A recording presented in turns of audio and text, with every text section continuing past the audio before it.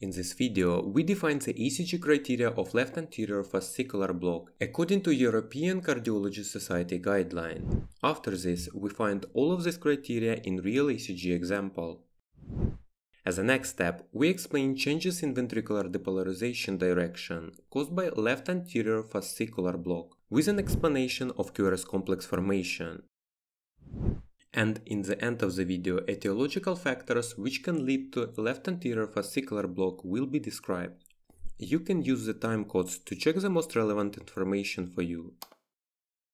So the bundle of His divides into the right and left bundle branches. In turn, the main left bundle branch divides into several fairly discrete branches.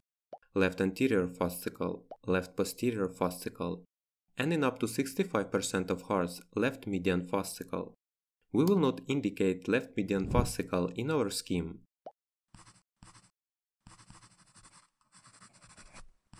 Left anterior fascicle normally initiates activation of the left anterior papillary muscle, the upper part of the septum and left ventricular anterolateral free wall, whereas the posterior fascicle travels to the posterior papillary muscle and after to the posterior and inferior parts of the left ventricle left median fascicle initiates depolarization of the interventricular septum.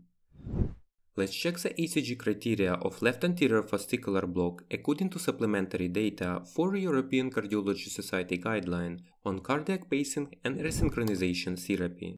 There are leftward QRS axis between minus 45 minus 65 degree. QRS morphology changes in both the frontal and horizontal planes. QRS duration is less than 120 milliseconds. Let's find all of these criteria one by one in real ECG example and start from the leftward QRS axis deviation. Remind that limb leads are positioned in the frontal plane. For the QRS axis estimation, we need to find limb lead with high R wave, in this case the high R wave in first standard lead and AVL. Both are equal 8 mm. The next step is find the lead with biphasic or near to biphasic complex. Remind that if R wave amplitude is equal to S wave amplitude, this type of QRS called biphasic. And therefore, lead with biphasic complex is oriented at 90 degree angle to the mean QRS axis. In our case, this is second standard lead. R wave here is 3.5 mm and S wave is 4.5 mm. By the way, when R wave is smaller than S wave, as in our example, it means that mean axis is oriented more than 90 degree to the lead with biphasic complex. Now let's use the hexaxial diagram and mark the lead with high R waves. Now let's mark the lead with biphasic complex. If R and S had been equal to each other, the mean axis would be minus 30 degree, but in our case, r is smaller, so the mean QRS axis is more negative than minus 30 degree. Therefore, alpha angle of mean QRS axis is minus 45 degree. So the first criterion of left anterior fascicular block is present. Now let's check the frontal plane QRS morphology. It should be noted that in case of left anterior fascicular block, QRS mostly changes exactly in the frontal plane, because the activation of the ventricles mostly changes in the frontal plane. As you see in first standard lead and AVL, QRS has QR morphology with small Q wave and large R wave. Remember that if the amplitude of a wave is less than 5 mm is named by lowercase letter, if more than 5 mm uppercase letter. As a next step, let's check the QRS in inferior leads, the second, the third and AVF. Here QRS has RS morphology with small R wave and huge S wave.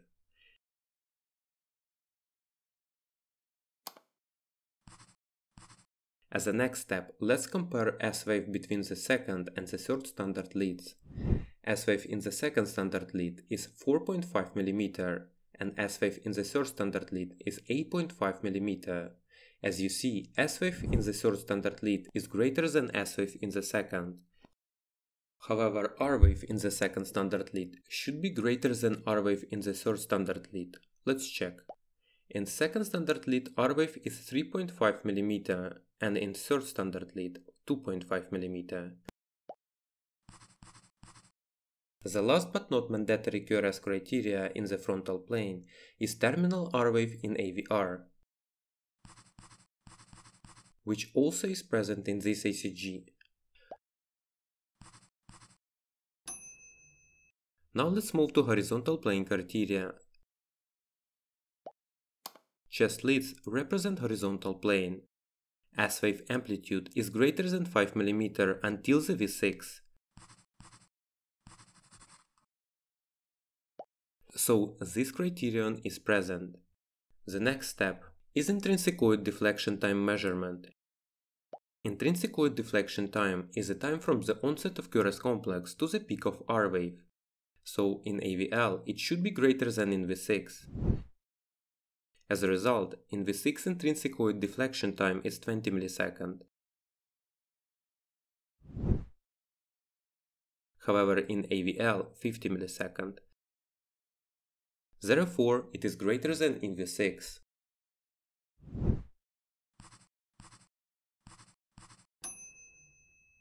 After, let's check the QRS duration. QRS duration in second standard lead is 110 milliseconds, which is less than 120. It should be noted that in some cases mid-terminal QRS slurring can be present in AVL and first standard lead. But firstly, let's define the slurring on the ECG. So a deflection is slurred when it displays a distinctive change in slope. QRS slurring can be found as an x-angle between the initial and terminal part of R-wave downslope. Let's check. As you see, the terminal QRS slurring is present in first standard lead.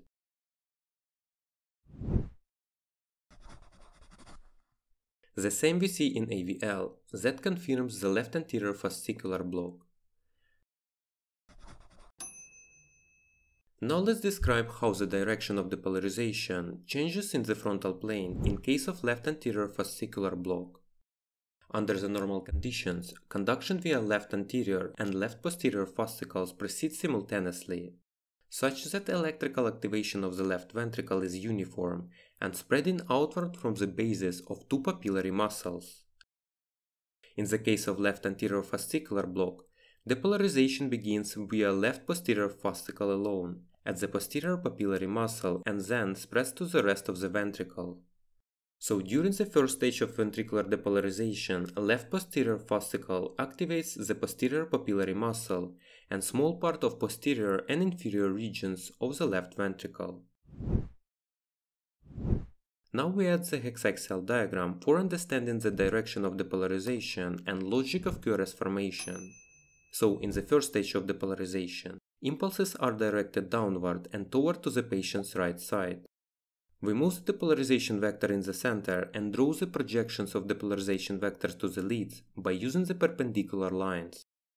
If the depolarization vector projects to the positive part of lead, ECG shows a positive deflection. As a result of the first stage of depolarization in AVF, the third and the second leads, ECG shows a lowercase r wave. The same initial depolarization vector projects to the negative part of first standard lead in AVL, as a result, ECG shows small negative deflection, Q waves.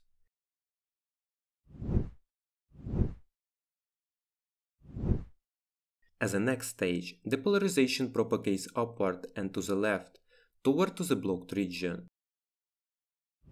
The depolarization vector is oriented leftward and slightly upward.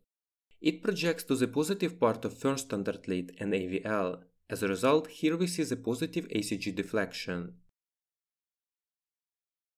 Also, it projects to the positive part of second standard lead that makes R-wave here bigger than R-wave in third standard lead. The same vector projects to the negative part of AVF and third standard lead. Therefore, here we see the negative deflection, S waves.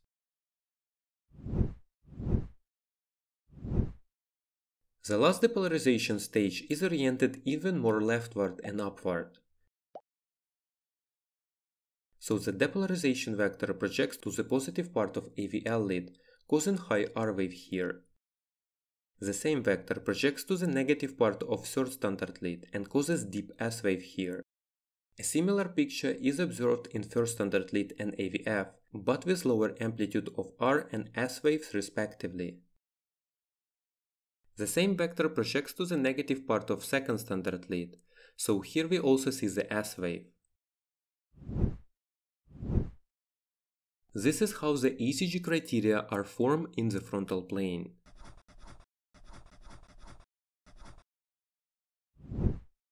Now let's describe the etiology of left anterior fascicular block.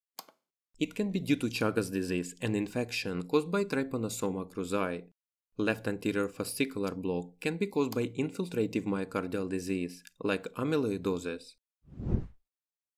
As you see, different subtypes of amyloidosis can be represented on ECG by the left anterior fascicular block with frequency from 20 to 40%. Also, inflammatory disease leads to left anterior fascicular block as well as congenital heart disease. The other causes are Lenegres and Lev syndromes, which are associated with the fibrosis and sometimes calcification of the proximal conduction system. The left anterior fascicle is often discrete ramus that cross a left ventricular outflow tract and can be damaged by the high flow, high pressure and turbulence as occurs with aortic valvular disease and therefore subsequent aortic valve surgery. Hypertension and obstruction sleep apnea are other causes of left anterior fascicular block should be noted that left anterior fascicular block occurs in over 70% of patients with obstructive sleep apnea. And of course, left anterior fascicular block can be associated with a coronary artery disease, especially stenosis of the left anterior descending artery. If you like the content, press like and subscribe buttons and have a good day. Here we go.